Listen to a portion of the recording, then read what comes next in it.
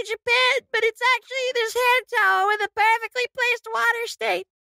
Oh shit, I just peed on my towel accidentally. Better turn this into cloud. It's a water stain! I had an ice pack and it leaked onto the towel! I didn't fucking pee on it! Peed on it. You peed on it, didn't you, little piss boy?